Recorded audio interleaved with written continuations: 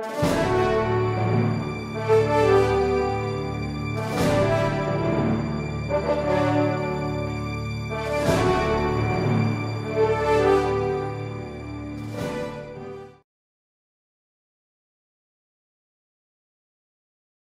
I think like all football coaches, you go through preseason camp and you really feel you're, you, have put together a pretty good product. Of course, we're all undefeated before we play the first game, and you know everyone would like to stay that way. But I think as we went through that camp preparing for our opener, we had a football team. Uh, we had a lot of veterans coming back.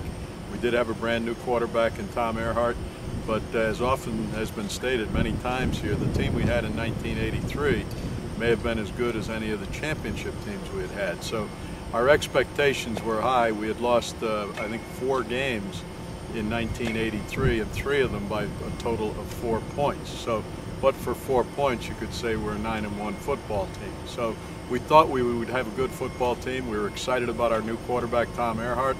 He had uh, redshirted with us that preceding season, the 83 season, and of course he was outstanding in, against our own defense and then he had had a, a, a, very good preseason camp so I would say we were optimistic for the season and obviously that uh, we would get things done in our home opener uh, against Howard. Well, you know, I, the only thing I remember was Howard had, uh, they had a, uh, a coach, uh, Willie Jeffries, who had come down from uh, Wichita State when they gave up football or were ready to give up football. He had uh, come back into the uh, into Coach Howard, and he had been there the year before, and they had struggled. They were, I think, a two and eight football team or something. But uh, he felt that they had really made some progress, and they were going to be a very competitive football team in their uh, in their league in the MEAC uh, that year. So, you know, we thought Harvard, I mean uh, Howard, was going to provide uh, a decent test for us, but you know, I think we were uh, confident that if we went out and did things right, we'd be able to get the job done.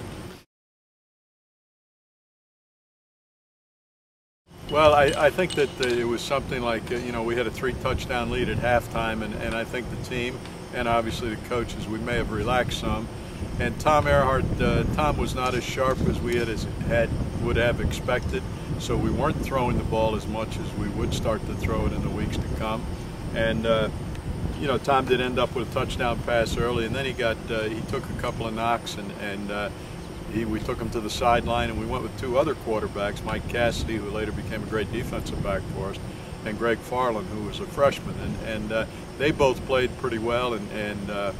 Uh, uh, Paul Stringfellow kicked a late field goal and, and really put it back out of reach. But uh, yeah, there were some anxious moments, and as I say, for Tom, it was it was not a debut that would, uh, you know, folks might say, boy, this is heralding great things to come. But uh, I think we knew in our heart great things were coming and Tom was going to be special. And uh, although he was not that day, he certainly became that over the next couple of weeks.